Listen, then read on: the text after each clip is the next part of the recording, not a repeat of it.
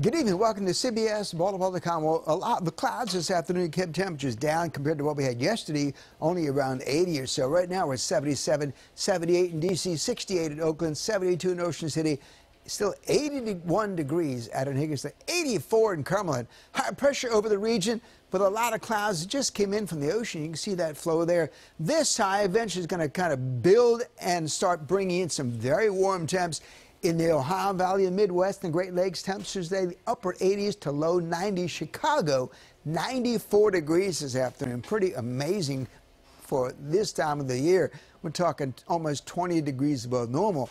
This high will dominate the weather most of the weekend. A few clouds at the beaches from what's left of Jose. They've issued the last advisory on Jose.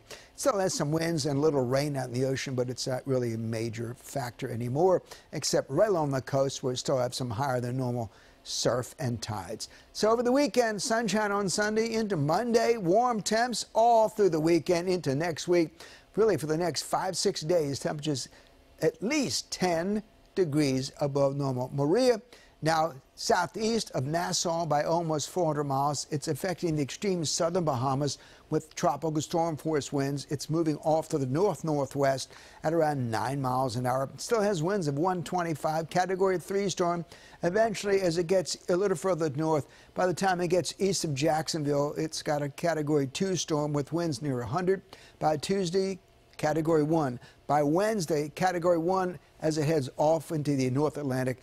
East of our region, we hope it's well east, but even in that location like Jose, we're going to have you know, tidal issues, high surf, rough, rough surf along the uh, rip tides and all along the east coast from really from Cape Cod all the way down into the Carolinas and Florida probably as well by next week. And the models do take it off the Atlantic coast and it continues to move it into the east northeast into the Atlantic where it's much colder, and that will help to diminish the strength of the storm. North winds on our bay tomorrow only 5 knots with no advisory at all. Tonight, then, patchy clouds, mild, humid, maybe some fog.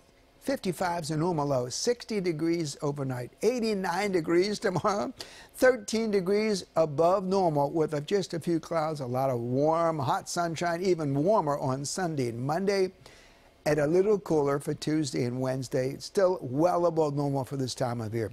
We'll update the forecast and the tropics for you later tonight.